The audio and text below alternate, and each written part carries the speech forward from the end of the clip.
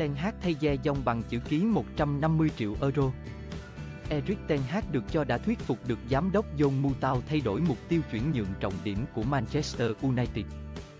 Ở mùa hè vừa qua, Eric Ten Hag đã tích cực theo đuổi Frenkie De Jong.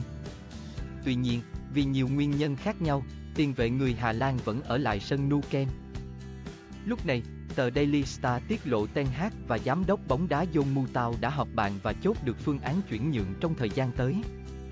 Cụ thể, họ sẽ không còn đặt trọng tâm vào chữ ký của Ye Jong, mà thay vào đó sẽ quay sang phương án mang tên Ju Bellingham.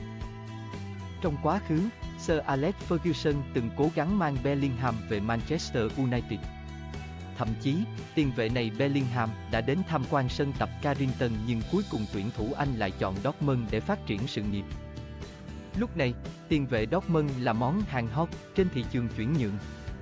Đại diện nước Đức tuyên bố rằng chữ ký của Bellingham hiện tại phải có giá ít nhất là 150 triệu euro và chắc chắn nó sẽ không giảm nếu anh tiếp tục chơi tốt ở kỳ World Cup sắp tới.